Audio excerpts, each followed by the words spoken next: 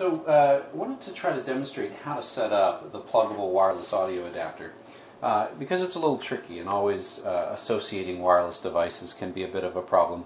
And in particular this device has some buttons that perform multiple functions. So I wanted to walk you through the process.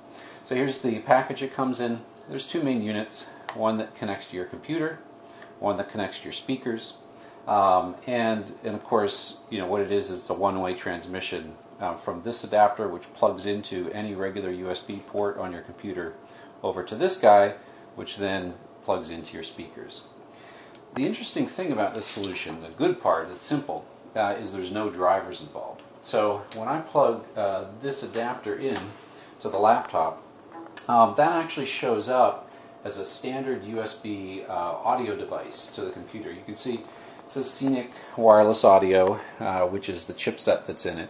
Um, but actually what will end up getting matched against that is the standard Windows in-box uh, audio driver. So I don't need any driver disk and there's none included in the package.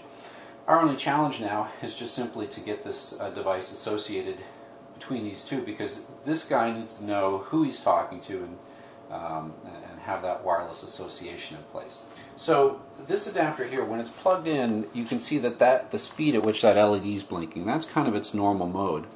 Now after we press down this button to associate, you're going to see that blinking increase over there. And then the same thing on this side. I'm going to press the power button and actually hold it in for just a little bit until this is blinking, kind of at the same kind of lazy pace. Blink, blink, blink. Now, if these had never been associated before, we press these two, hold them in, and about five seconds later, I don't know if you can hear that on the video, there was actually a tone that came out of the speakers there. And that means that they're uh, now associated. Um, so now, once you've heard that beep, this guy knows to talk to this guy. Now let's take a look in, here to Windows um, to, and I'm going to plug my mouse back in so I actually have use of my mouse. Let's look at Windows to see uh, what this might look like from an audio um, perspective.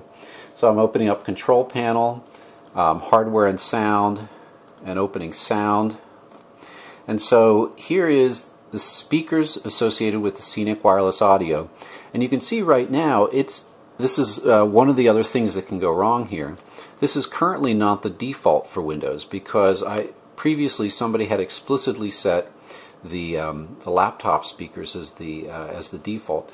Windows normal behavior is whenever a new audio, uh, USB audio device arrives, it just chooses whatever's the newest device as the default, assuming that if you just plugged it in, you probably want to use it. But if somebody in the past has set another default, it'll stick with that. So that default had been stuck with, so now um, we're going to you know, click on speakers there, uh, or on the uh, wireless audio, and then I'm going to just uh, open Windows Media Player, and we're going to play something. And yeah, recommended settings and let's hope that we've got a something default. So now you can hear the sound coming out through these speakers. These speakers are not connected via wires to this laptop at all. They're connected only through the, the wireless control panel here. So I'm going to go here and turn down the volume so that's not talking over me. You notice something else, that when it's playing audio successfully, the LED has gone from that slow, lazy blink to solid now, so on both sides. So you'll only see that LED get solid when audio is actually playing over the USB audio devices. One of the common problems that can happen when you're pairing these, and, and it didn't happen to me, but when you hold down this button here to pair, because we hold down both of these at the same time to pair them, that's also a similar function to mute the audio.